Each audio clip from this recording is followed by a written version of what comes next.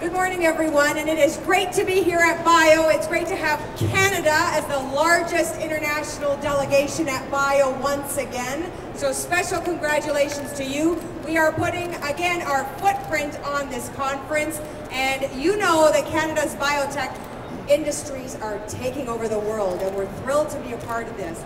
I am here on behalf of our Premier Dalton McGuinty. He is our man for innovation in Ontario and he has a great representative here in our Minister of Research and Innovation, who is as tall as the Premier of Ontario, John Malloy, who is here with me today. Uh, but we really are delighted. We're delighted to be joined by such illustrious guests here, our federal minister, our premiers from across the country, because we speak with one voice when we're here in Chicago or wherever bio might be. Canada has a tremendous message for the world thanks to the federal SR&ED credits that allows people to come in and do such tremendous work. And then each of us individually as provinces do our part to try to entice you.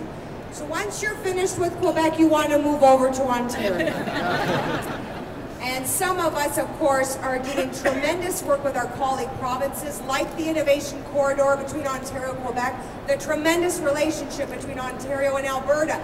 These are the kinds of things that speak to our country. And that's the message that we're going to take to all of these delegates that come from the world. Some great international representatives, and when they see Canada, they smile. So I want to congratulate all of our organizations to do once again really the best booth.